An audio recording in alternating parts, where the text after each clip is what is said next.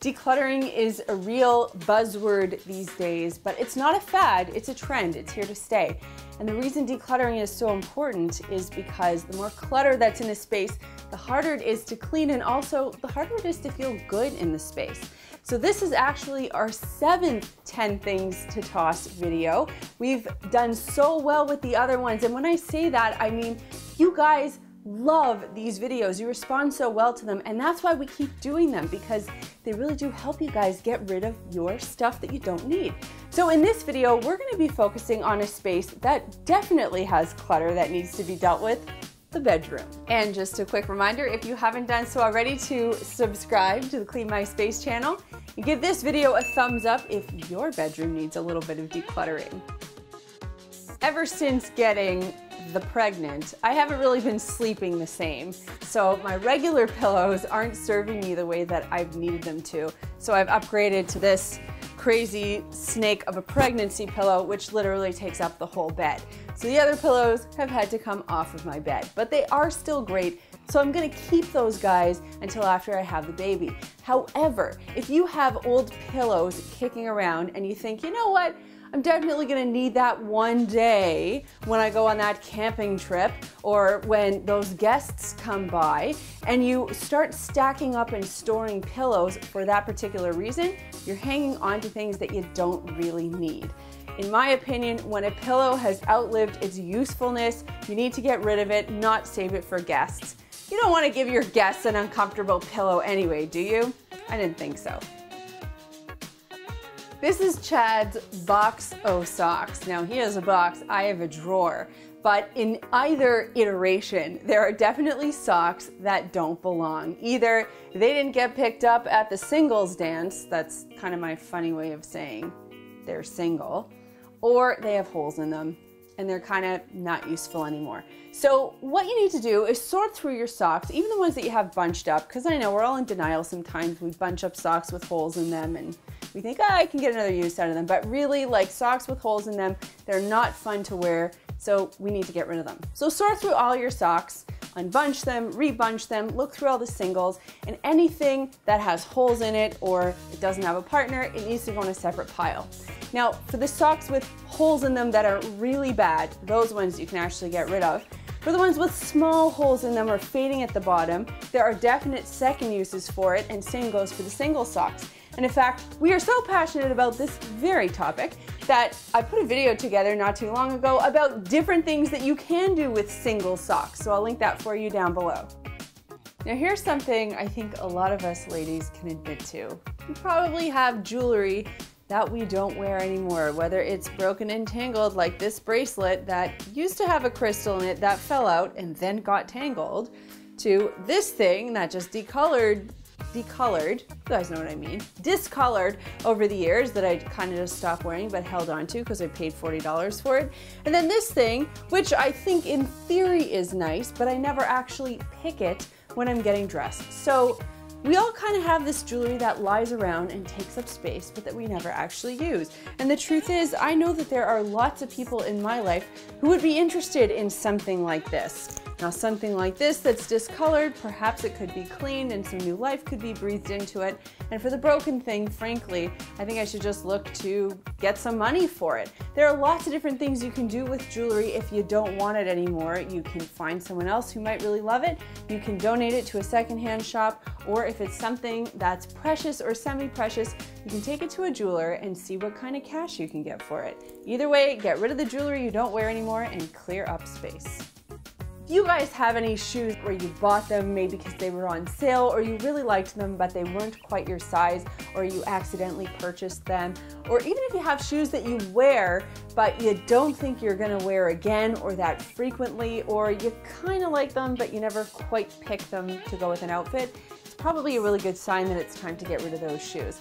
So take a good honest look at the shoes that you have in your closet, whether they're new or worn and ask yourself, would these be the shoes that I would pick if I were wearing a certain outfit?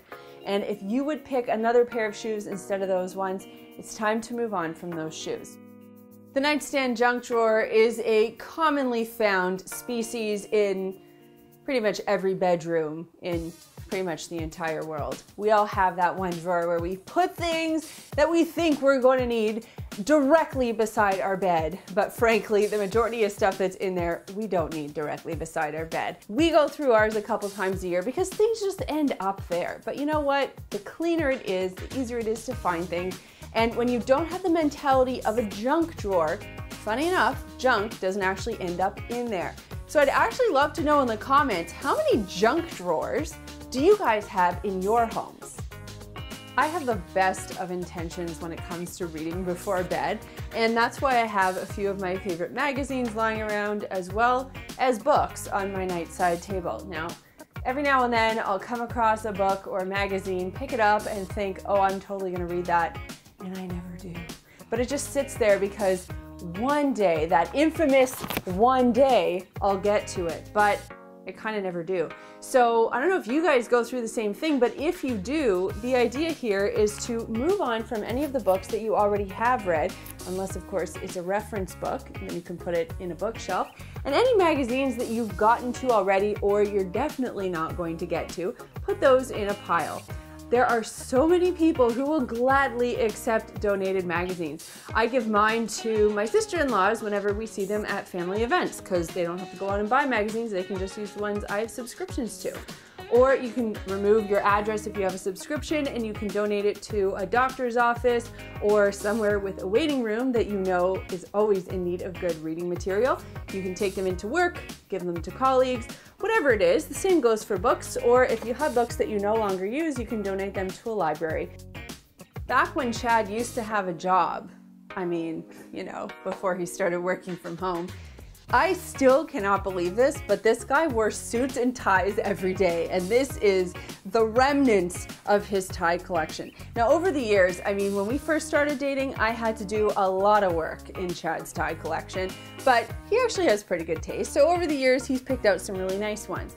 But Chad doesn't go to too many fancy occasions where he actually needs ties. So I think it's about time for him to go through his tie collection and pick out the ones that he knows he would never wear anymore. I mean, seriously?